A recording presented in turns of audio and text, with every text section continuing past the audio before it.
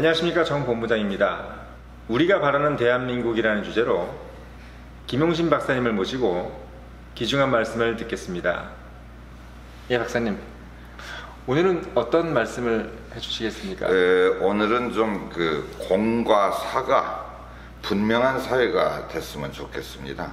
바로 민주주의가 제대로 성숙이 되려면 그 문제부터 해결이 에, 돼야 되는데 며칠 전 제가 이거 보니까 우리 그 존경하는 전 민주당 대표인 정대철 박사께서 여러 가지 말씀하시는데 그 중에 이런 부분도 좀 있는 것 같아서 오늘은 좀 그 문제에 대해서 어, 제가 이야기 한번 해야 되겠다 이런 생각했습니다. 예, 공과 사를 구분하자. 네. 네. 음, 그 모든 것은 이제 그 우리 사회가 에, 공사를 구별을 못한 까닭에 오늘날 그 지금 현재도 적폐천 청산이시 무엇이 하는 소리가 깊이 그 들어가면 공사 구별을 못해서 일어난 일입니다. 음, 그러니까 우리 사회 적폐 중에 가장 큰 게 공과 사의 구별이 아- 안 됐기 때문에 이게 그 민주주의도 제대로 안 되고 뭐 여러 가지가 연결이 돼서 부정 부패까지 꼬리를 물고 어, 일어나게 되는 겁니다.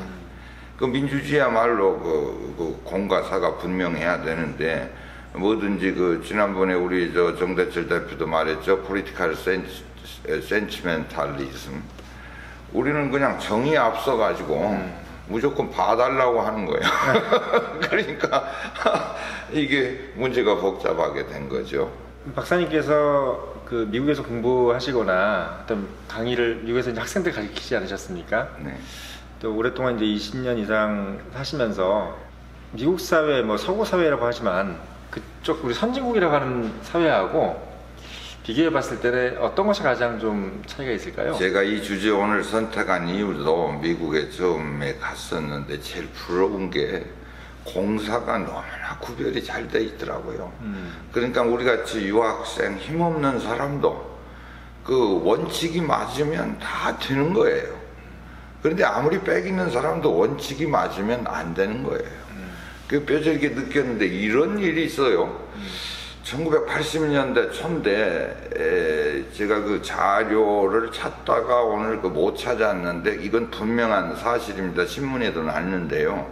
그때 그 버지니아 주지사가 있었는데 버지니아 주지, 주정부의 회계 담당 공무원이 주지사를 고발했다는 거예요. 그 깜짝 놀라서 내용을 알아보니까 그 매월 전화비가 나오는데 조금 많이 나와서 그 전화 내력을 조사해 봤더니 주지사가 자기 사무실에서 자기 집에 사적인 일로 전화를 해가지고 그 비용이 180여 불 기억으로 그러니까 우리나라 돈으로 한뭐한 20만 원 나온 건데 그걸 집행할 수 없다고 어 해서 고발 조치가 돼가지고 그 제가 알기로 주지사가 어, 그 물어낸 걸로 알고 있어요.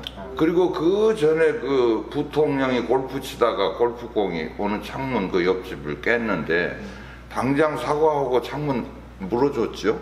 그런 사실도 우리나라 사람들 다 기억하고 있을 겁니다.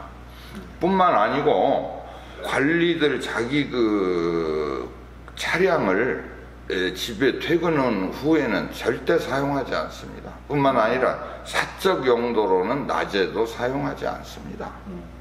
그걸 보고 아 언제도 언제나 우리 사회는 이렇게 될까? 요즘도 이제 그 많이 좋아졌죠. 가만히 말 들어보면 이제 뭐 관용차를 사적 용도로 사용하지 않는 건 많이 그래도 좋아진 것 같아요.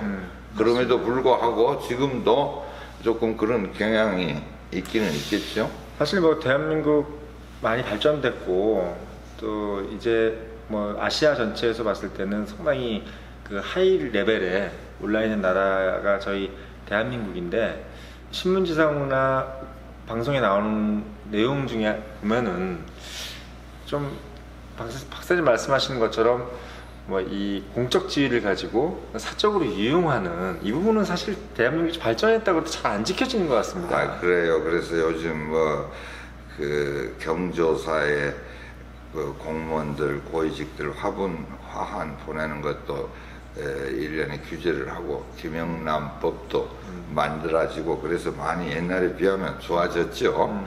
그럼에도 불구하고 아직까지 그런 게 있고요. 이 문제는 꼭 지도층 문제만 아니라 우리 일반인들도 조금 지켜야 됩니다.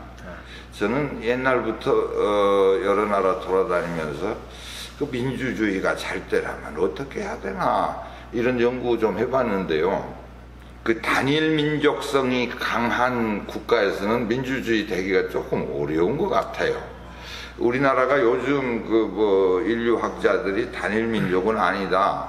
뭐 충분히 이해합니다. 그러나 상대적으로 다른 나라, 유럽 나라, 미국에 비해서는 단일 민족성이 좀 강하거든요. 우리나라는 성의 숫자는 성씨의 숫자는 적지만 이름이 많습니다. 근데 여러분 아시다시피 서양은 이름은 데이비드 아니면 뭐뭐 다 몇 가지 아. 정해져 있는데 성씨가 너무너무 많아요. 그러니까 일가 친척 찾기가 어렵습니다. 서양에서는 그런 개념도 없고. 그런데 우리는 종친회다, 뭐 동창이다, 고향, 향후에 등이 있어가지고 전부 그런 것들이 사적 모임의 사적 이해를 위해서 활용된다. 근데 안타깝게 생각합니다. 그래서 뭐 자기 동기생이 뭐 조금 높은 지에 올랐다. 그럼 모두 거기다 대고 야 나 뭐 좀 봐달라. 그게 말이 됩니까? 자기 아버지가 대통령이어도 자기 할 수 있는 거 없습니다. 아무것도. 그- 그래야 되는데 그게 우리나라의 그 인정주의, 그 센치멘탈리즘, 영어로는 그렇지만 우리나라의 정의라고 하는 건 이 다음에 내가 정신분석 이야기할 때 좀 하겠습니다만은 러브와 헤이트가 고- 동시에 있는 거야. 사랑과 미움이. 예. 그러니까 서양의 정신 분석으로는 좀 어, 분류하기가 어려운데 그래서 그, 그 미운정, 고운정, 하여간 그 정이라는 이름으로 우리나라는 정의가 성립되더라도 정이라는 개념이 동의를 해야 정의가 되지. 그, 그 정을 저버린 놈은 나쁜 놈이 돼요. 을이라고 하는 건 한문으로 오를 의자에다가 이치 이자니까 옳은 이치인데. 우리 사회에서는 아 동기생이 나도 안 봐줬네 저 의리도 없는 놈. 그건 불이지. 불이 오- 옳은 일이 아니야. 그럼에도 불구하고 우리는 그 정의 이름으로 그 의리 없다고 의리의 개념을 규정해요. 그러니까 앞으로 좀 우리가 그런 거에 신경을 써가지고 지도층은 말할 것도 없고 우리 일반인들도 좀 공사 구별해야 될 것 같아요. 나에게는 좀 불리하더라도 좀 우리 사회가 잘 될 수 있다 그러면 양보할 수 있는 마음 좀 있어야 되는 거 아니에요? 그 전부 다 에, 그래가지고 사적 네트워크를 통해서 뭐 공적인 일을 한 것이 아니라 개인적인 순전히 이 사적 그 부탁하고 다니면은 또 자격이 있는 사람이 부탁한 건 언더스탠더블 해요. 이해할 만합니다. 잘 어, 몰라서 어, 내가 이런 사람인데 좀 추천해 달라. 그나 얼마든지 이해하나. 자격도 없으면서 모든 거를 다 부탁 혹은 백 요즘 말로 어, 그건 좋지 않은데 그것도 따져보면 공사 구별이 잘 안 됐다. 그래서 우리나라가 앞으로 좀 더 그 선진국 대열에 들어가려면은 지금 GNP가 난 이리 생각합니다. GNP가 2만 7, 8천 불에서 스탑된 지가 10여 년 됐죠. 예, 예. 왜 안 오르는가? 음, 이 문화가 음, 아직까지 선진화되어 있지 않아서 음. 그 사회적 비용이 너무 많이 들어가요. 아, 그러니까 경제도 경제지만 물론 주 원인은 경제 침체도 있지만 그런 것들 때문에도 공사 구별이 안 되는 것 때문에도 우리 GNP도 안 올라가고 있다. 저는 감히 이런 생각합니다. 그럼 뭐 박사님 외람되지만 지금 대한민국 정치권에서 일어나는 일들이라든지 이런 것들도 뭐 그런 것과 뭐 연관될 수 있는 게 있겠습니까? 당연하죠. 지난번에 그 박근혜 대통령 문제도 따지고 보면 공사 구별이 좀 잘 못돼 부른 거 아닙니까? 그 최순실 씨한테 뭐 예, 예. 이야기를 했다. 음, 어, 뭐 그렇게 공과 사가 구별이 안 된 데서부터 출발이 된 거예요. 모든 건 공적 테이블에 올려놓고 회의를 통해서 결정을 해야지. 대통령이라고 우물우물 자기 마음대로 하면 안 되죠. 그러니까 그건 누가 대통령이 되더라도 앞으로는 그런 공사 구별이 분명하도록 대통령부터 그걸 지켜야 되겠죠.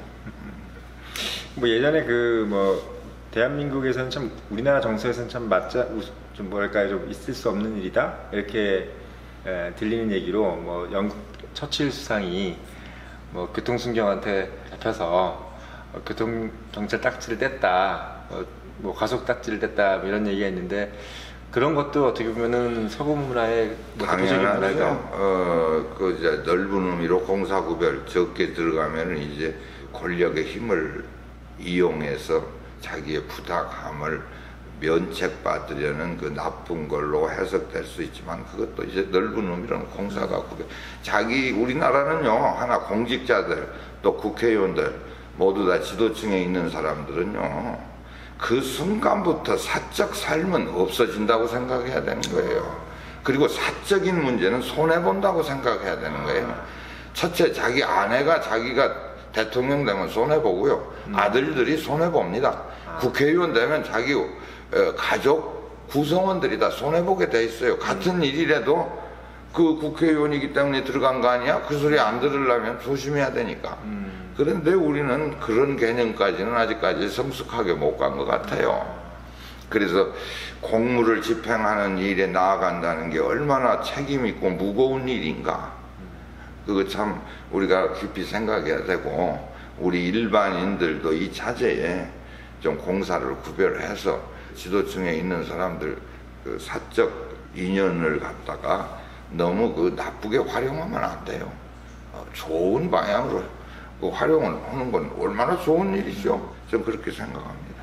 예, 오늘은 김용신 박사님과 공사 구분을 하는 대한민국이라는 주제로 이야기했습니다. 사장님 감사합니다. 예, 고맙습니다.